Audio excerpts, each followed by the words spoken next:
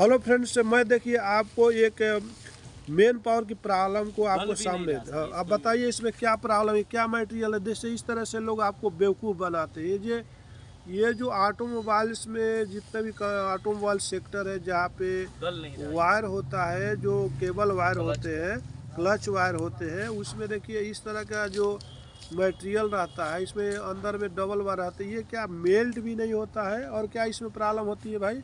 गल नहीं हाँ? ये आपका इसको ज़्यादा टेम्परेचर चाहिए। इसमें कई तरह का इनर कुछ और मटेरियल रहता है आउटर कुछ और मटेरियल रहता है।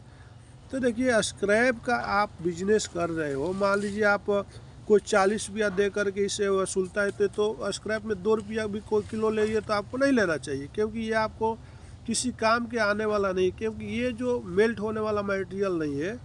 और जैसे आप इसको बाई चांस ग्राइंडिंग कर भी देते हो तो आगे जा करके आपको ये मेल्ट होने वाला नहीं है और आपके स्क्रू बैरल को डैमेज करने वाला है इसमें आउटपुट भी नहीं आने वाला है। तो please avoid this type of material don't purchase this type of material this ये ऑटोमोबाइल सेक्टर में जो रिजेक्शन हो जाता है जैसे आपका क्लच से वायर हो, का होता है ब्रेक वायर का जो मटेरियल होता है तो इस तरह के जो देखिए आप देख रहे तो अभी देखिए आपका पूरा स्क्रैप देने वाला नहीं आपको ये क्लच प्लेट का ही ये ये देखो आपको, आप अगर ये ग्राइंडर में बाई चांस जो है ये पूरी तरह से आयरन है, ठीक है, इसको खींचिए बाहर। ये कितना वायर है इसमें, कितना हार्ड वायर है, आप देख रहे हैं।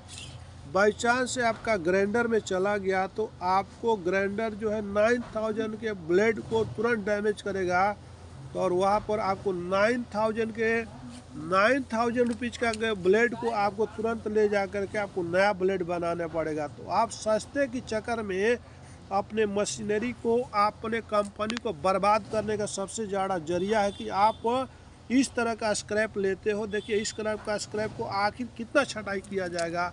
ये जो क्लच प्लेट है, इसमें देखो ग्रीस लगा हुआ है। इसमें देखिए, आप खींचिए, ये वायर है पूरी तरह से।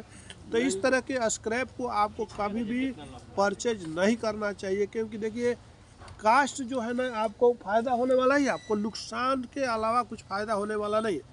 आप कर क्या रहे हो, आप देख क्या रहे हो तो आपको कभी भी स्क्रैप के बिज़नेस पे इस तरह का मटेरियल परचेज नहीं करना चाहिए। इसको हम लोग क्लेच प्लेट वायर बोलते हैं क्लेच ब्रेक वायर बोलते हैं, इसे नहीं लेना चाहिए।